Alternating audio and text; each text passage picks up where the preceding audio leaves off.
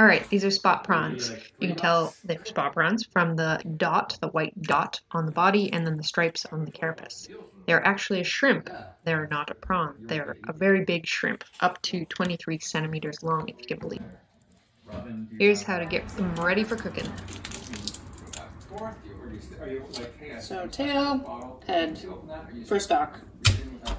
You can keep prawns whole as well, but I love making stock with the head, so that's why I do it this way.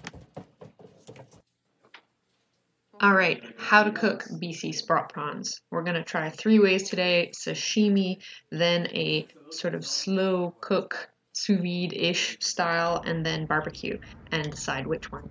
You can even try barbecuing the heads and sucking out their juices. It's a delicacy. Alright, sashimi. All you do is peel and eat. You can devein if the um, shrimp looks like its line is a little bit dirty, but this one was really beautiful and clean, so I just peeled it like so. You just take that shell off and then pinch to pull the tail off. Um, and you can eat the shells as well, just, just, so you know it's not bad for you. And, and sometimes it, pro it provides a bit of a crunchy texture, especially when you barbecued it.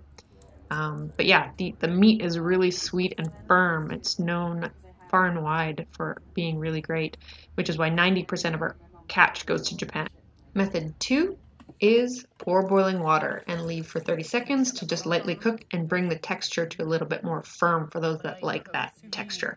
Um, and then dip them in a dipping sauce. So I make a nice soy uh, cilantro orange sauce that I'll put at the end of this video and in the notes, so you can check those there. Number three, barbecue. Two minutes aside, put that barbecue on high and get it nice and seared.